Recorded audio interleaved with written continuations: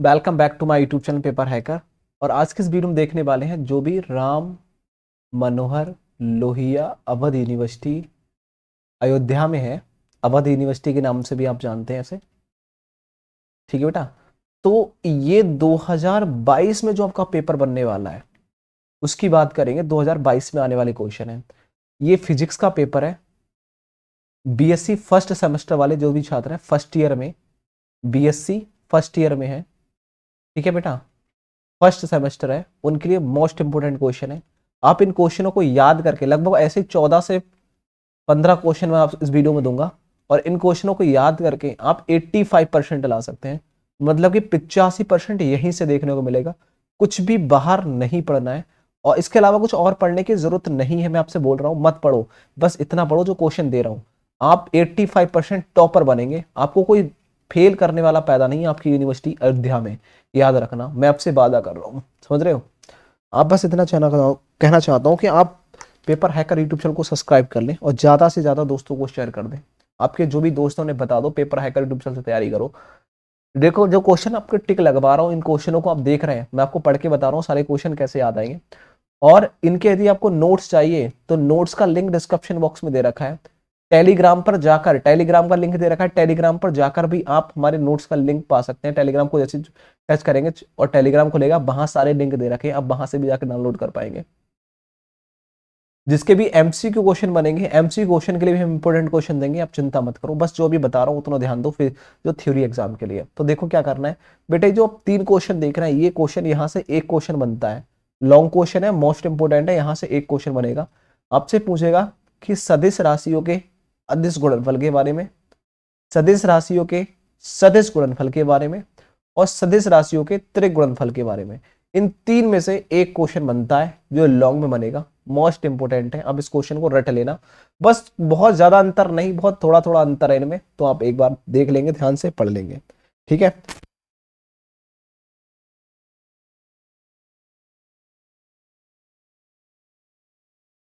उसके बाद में आपको क्या करना है? देखो।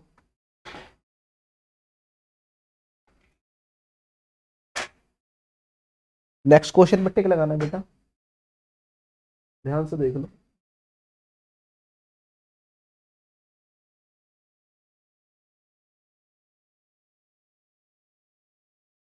नेक्स्ट क्वेश्चन देखो तीनों क्वेश्चन पे आपने टिक लगा लिया होगा। उसके बाद में नेक्स्ट क्वेश्चन ध्यान दे रहा है वो है अदिश राशियों के समाकल के प्रकार कितने होते हैं? बेटा समक, समाकल के प्रकार के बारे में पूछ लेता है। मोस्ट इंपोर्टेंट है समाकल के प्रकार मोस्ट पे लगा देना ये। उसके बाद में गौस के अपकरण का नियम, ये मोस्ट इंपोर्टेंट है, रट लेना इसको। इसको देखने की ज़रूरत नहीं है, मैं छुड़वा रहा हूँ, बहुत सारे क्वेश्चन छुड़वा दूँगा, बहुत सारे इंपोर्टेंट है, वही लगवा रहा हूँ। गैलोलियो के सिद्धांत को याद कर लेना मोस्ट इंपोर्टेंट है। उसके बाद में आता है, ये क्वेश्चन ध्यान से देख लो। इसे कहते हैं, जुड़तवीय, अजुड़तवीय निर्देश फ्रेम के बारे में। ये मोस्ट इंपोर्टेंट है, इसको आप रट लेना है। उसके बाद में इसको छोड़ देना सहसंयोजक और मिश्रित टेंसर क्या होता है? इसकी परिभाषा आप पढ़ लेना। ये मोस्ट है। सहमति विरुद्ध इसको भी छोड़ देना।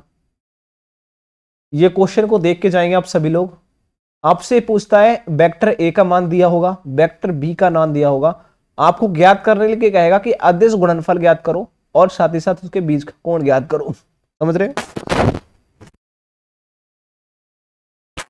जब कोण कॉस थीटा करेंगे और ए माइनस बी वेक्टर की बात कर, मान करेंगे ये अदिश राशियों का गुणनफल होता है डॉट से और सदिश के लिए गुणा से होता है। तो मैं डॉट वाला ज़्यादा पूछता है इसको याद कर लेना। सिद्ध करो कि प्रवणता अचर फलन शून्य होता है ये मोस्ट है इसको रट लेना। कि आपसे सिद्ध करने के लिए पूछेगा कि सिद्ध कीजिए कि जो प्रवणता होती है उसका जो अचर फलन मान होता है वो शून्य होता है ये सिद्ध करो। उसके बाद में क्रॉन कर डेल्टा की परिभाषा शॉर्ट में पूछेगा इसको पढ़ेगा। द्रव्यमान केंद्र की परिभाषा central of mass most important है। न्यूटन के गति के नियम और उनकी सीमाएँ मोस्ट इंपोर्टेंट है। रट लेना इसको छोड़ देना।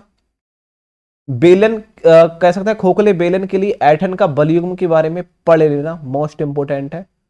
ठीक है?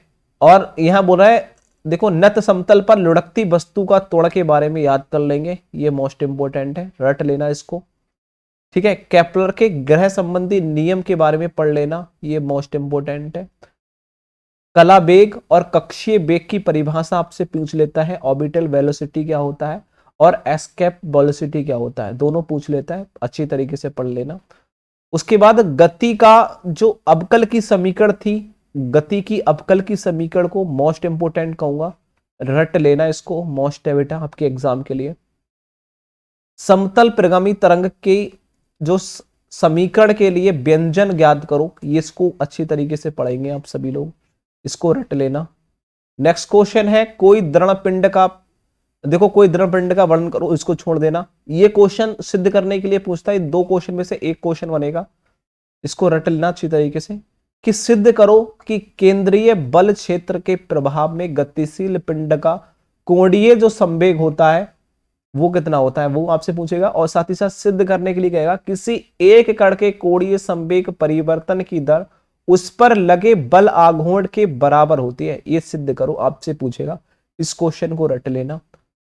कार्य ऊर्जा प्रमेय की परिभाषा और सिद्ध करने के लिए बोलता है, इसको भी मोस्ट पे लगा देना। और लास्ट में ये वाला देख लेना क्वेश्चन बाकी इन क्वेश्चनों को छोड़ देना। एक ग्रह की गतिज ऊर्जा के बारे में पढ़ लेना। और कला बेग और समूह बेग की परिभाषा पढ़ लेना। ये थे 2022 में आने वाले क्वेश्चन। इन क्वेश्चनों के याद करके आप पिचासी परसेंट ला सकते हो। आपको फेल करने वाला कोई पैदा नहीं है। आपके राम मनोहर लोहिया अवध यूनिवर्सिटी के अंदर। सभी छात्रों से कहना चाहूँगा, पेपर को रट लेना। कोई भी दिक्कत आ रही है, सूरजराज पेपर हैकर को कांटेक्ट कर सकते हैं।